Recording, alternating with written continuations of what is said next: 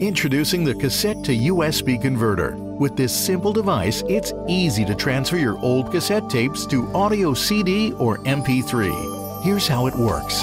First, load one of your cassette tapes into the converter. Then, use the included cable to connect your converter to any free USB port on your PC or Mac. The converter is powered by your computer and needs no batteries to run. The next step is to transfer your tape to your computer. The cassette to USB converter comes with the cassette to CD Wizard software, which is available exclusively with the converter.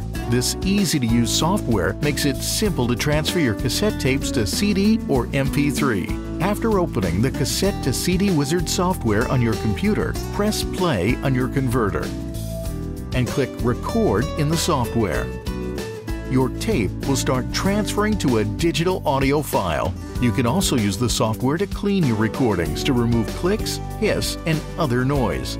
If you'd like, you can also burn your recordings to CD with the software.